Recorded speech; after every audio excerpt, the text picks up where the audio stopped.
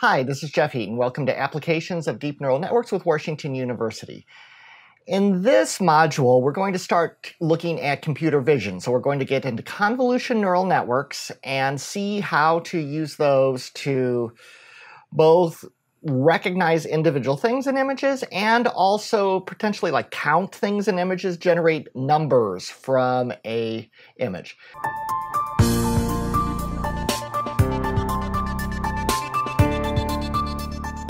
The link to this notebook is in the course description. I'm going to go ahead and open it in Colab so that all the LaTeX displays correctly the equations and also we can run things if needed. So we make use of a Python library called Pillow and that should be already installed. It was part of the list of packages to install for the class and also it's installed by default in Colab. So when you load an image into Pillow or to something else like this, it's a series of RGB values, the pixels. So here you can see that 199, 213, 240. So this is one individual RGB color, red, green, and blue, 0 to 255 on each of these. And that is what actually goes into the neural network. Usually you're going to normalize these to some degree so that they're between 0 and 1 but this is just a big grid, rows and columns of the actual image data from an individual image. Here I'm loading a picture of Brookings Hall from Washington University, which you can see here. We can easily display these in Google Colab and see. Now, you can also build up a image entirely from programmatically down to the pixel. And that's what we're going to do here. I'm showing you that I can basically create a NumPy array, height by width, 64 by 64, unsigned int 8, so that means 0 to 255, and I'm going to create some boxes. I'm going to use loops to create these boxes, but it's actually faster and more performant to use NumPy, but the code is a little less obvious in NumPy. So we're going to start with loops, and then later in this, this part, we'll see how to actually do that in NumPy. Here what we're doing is looping over the rows and the columns. So we're looping over 32 rows and 32 columns. And data is that big matrix array that I have for the entire image. So here what I'm doing is taking the first 32 rows and the next 32 columns, so uh, a rectangle, that is one fourth of this area. So half of 64 is 32, half of the other 64 is 32. So we're we're filling up the first quadrant of that. And we're filling it with yellow, 255, 255, red and green. Those two values make up yellow. Then we do something similar for red, but what we're doing here is I'm offsetting the row. So we're going down 32. And then we go over and across both 32 and finally just, just over 32. So you can see that red, where we move down, is here, yellow, and we, we basically built that image from the pixel up. And you can do that sort of thing in neural networks. We'll see in the next module, when we do GANs, you actually get pixel by pixel out of the neural network and you build it up pixel by pixel from the neural network. So the neural network is actually drawing it. So this is basically how you do that. You create the array and then you specify that the encoding is RGB. There are other ways to encode images, but RGB is, is the most common. You can also use a image as a starting point and make those same changes. This is great for augmented reality, where you have some sort of an image and maybe the neural network is going to put boxes around people's faces or something like that. We'll see that. We'll see an example of that in this module as well when we start to look at YOLO. But here we are loading an image. So we're loading Brookings Hall again. I will also mention this little line here. If you're loading images over the, the network, this is very important to put in because that identifies what type of browser is downloading it. I was getting security faults because a lot of websites require this now. So, and unfortunately, I don't know why Python doesn't default to something, but this is this is how it works. So we're going to get the image, we're going to display the rows and columns, but now what I'm going to do is create another array that I'm going to copy it into, and I'm going to loop across all the rows and columns. Again, we could do this faster with NumPy, but I'm showing you literally what's going on kind of at the looping level. I find the loops a little bit easier to understand than some of the NumPy notation, at least until you get used to the NumPy notation. And what I do is one by one, I take the average color on each pixel. So I'm taking the red, green, and blue, averaging it just into one, and then putting it into the new array that I am creating, the new matrix. And then we create it, just like you've seen before, from RGB, and every pixel has been averaged. And this results in a grayscale-esque image.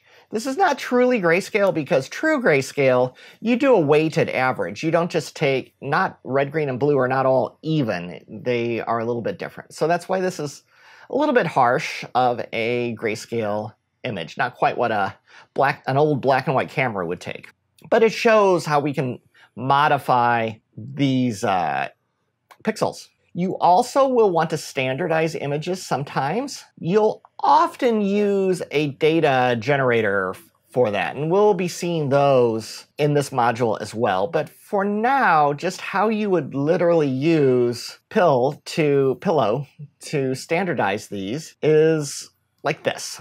Notice I have three images here. We're going to crop each of these to being square. This is similar to one of the assignments that you have in this course, you have to make them square, but use a little different technique than I have here. And we're going to, one by one, open, open the images, load them. And again, I'm using the user agent because we are pulling these images across the internet. And I'm going to resize them all. Well, I'm going to make them square first, and then I'm going to resize them to 128 by 128.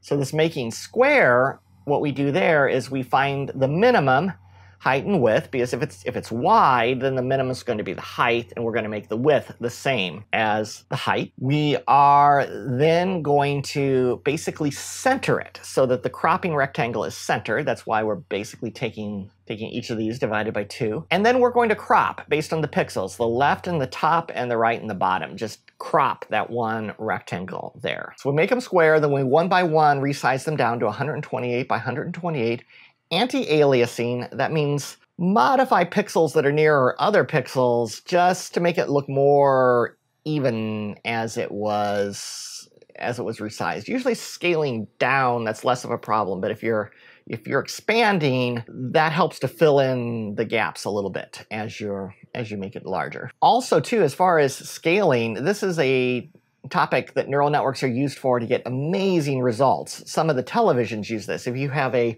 4K television, but you're just watching HD video source, it can upscale it to your television. And, and here are the standardized images. I took all of these buildings that were all different sizes of images. If you go, say, download a bunch of images off of Flickr, which is a common source of, to get images from for machine learning, you're going to get all kinds of sizes. And machine learning also likes to have square images usually. It's not required, but it does make things easier. We can also do sort of an augmented reality thing where I'm going to add some noise to an image. Here I create a function called add noise, and I'm basically getting an array, I'm copying the array of the image, and I'm getting the rows and columns, and then I am going to create the size of the noise that I'm adding. Because you can see an example here, these boxes. I'm just throwing these boxes all over the image.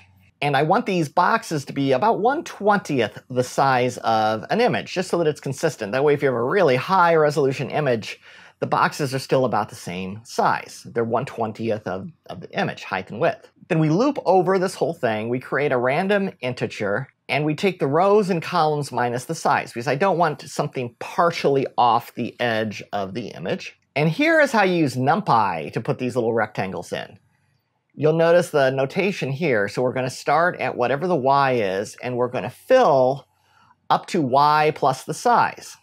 So that's the, the rows. And then we do the same thing for the columns with x. We fill from x up to x plus the size. And we set it to 0.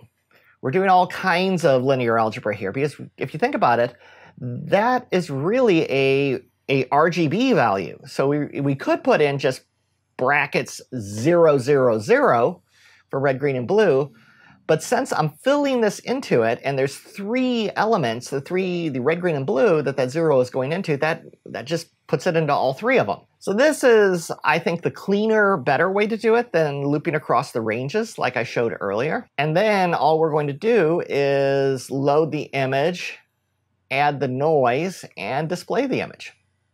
And there you see. So this is a form of augmentation that we are doing. We're adding noise to the image to just to show that we can alter it. This is how you can do augmented reality. I don't know, you could make snowflakes fall down and render a bunch of frames.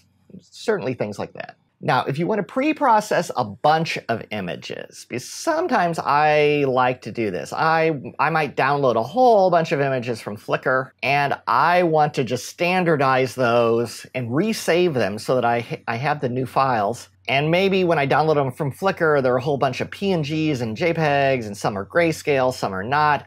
I just want to standardize that so that they're all the same. And what I am doing here is I am downloading some paper clips from a data set that I created that has a bunch of paper clips, images of paper clips on pieces of paper, like you see here. And it normally you'll try to count the paper clips, and we'll see examples of that. But here we're just pre-processing it. And the paper clips are all PNGs, which are kind of big. So we're going to also convert them into JPEGs, which are smaller. So we're going to download the paperclip images to a directory called source, which using Colab, it's under Content Clips, Paper Clips. And then we're going to output the results to something called Clips Processed. So we unzip the zip file that we downloaded and get everything squared away on, on the hard drive. And we're going to use a couple of functions here. We're going to use the make square that we saw earlier. And then we're going to also use scale, which basically just shrinks it or grows it, depending on whatever you're asking for. And then standardize, make sure that it's in red, green, blue. So if you're dealing with some grayscale images, it converts them all to RGB. Because some of your machine learning algorithms, most notably StyleGAN, which we're going to use towards the end of this module, will error if you give it a mix of full color and grayscale. And then fail below is just saying, okay, fail an individual image if it's below a certain resolution. So we're going to grab all of the JPEGs. Oh, my mistake. I said earlier the paper clips were PNGs. They are JPEGs. So we're going to loop through and download, or we already downloaded them, but we're going to process every JPEG. And we are going to read in the JPEG. And these are on our local disk, so we're not pulling them across the internet. We'll standardize it so that they're all full color and not grayscale. We're going to crop it to be square and we're going to scale it. We're going to shrink it down to 128 by 128. So this makes all of these images of uniform size. And this is very useful to do when you're pulling in a lot of external data from somewhere like Flickr or captured from security cameras, captured from video, wherever it's coming from. All right, thank you for watching this video, and if you're interested in more in this course, please subscribe to my YouTube channel and give me a like if this video was useful to you. Thanks for watching.